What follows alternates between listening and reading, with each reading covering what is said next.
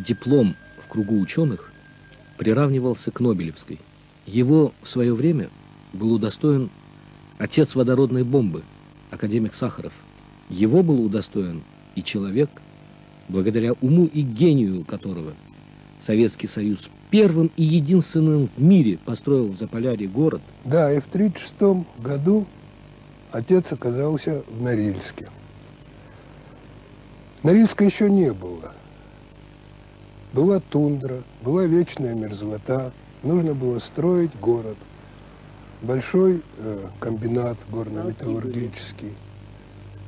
Руководство строительством это понимало. Оно знало, что отец закончил Политехнический институт, гидротехнический факультет.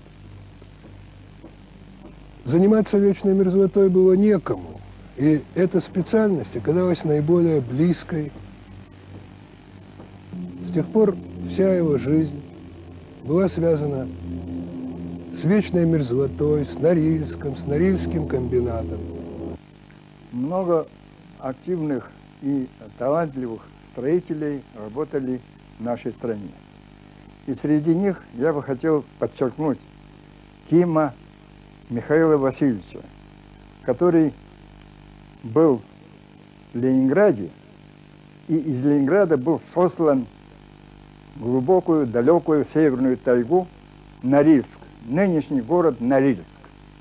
Он фактически создал этот город. Увидел что-то напоминающее на Ленинград. Невский проспект, только в уменьшенном масштабе.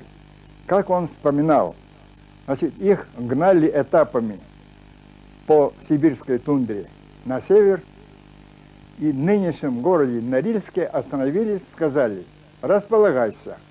И когда э, готовилась награда на представление на Ленинскую премию, весь авторский коллектив единодушно его выдвинули первую фамилию, не по алфавиту, а его фамилию отдельно, первым. Владимир Ким, сын Михаила Васильевича, москвич, математик, работает над воспоминаниями об отце.